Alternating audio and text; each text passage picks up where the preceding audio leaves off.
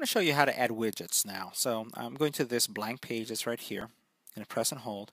And what you can do is choose widgets. Once you choose widgets, there's several widgets that you can choose from, and some of them get created as you add programs. So for example, the Beautiful Widgets one happens to be I have the Beautiful Widgets program um, installed, so it creates a group of widgets that I can choose from that I can put on my desktop. Uh, but what I'm going to do is I'm going to show you um, one that I find very useful, uh, but not many people know about.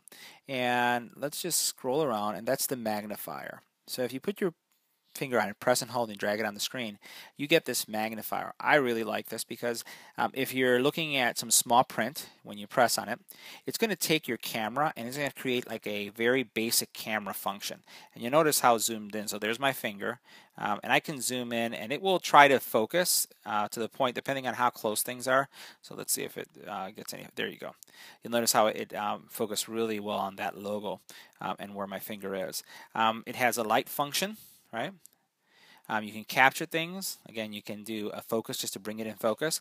And I use this a lot if I'm looking at, let's say, IMEI numbers on phones or anything that's a real small function. Um, you can use this just to zoom in and retrieve um, whatever you're trying to read on that screen or on that piece of text. Again, that's the magnifier function and also how to use widgets.